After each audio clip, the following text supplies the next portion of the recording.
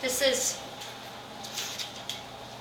Mo, uh, Marcy, Okay. who likes the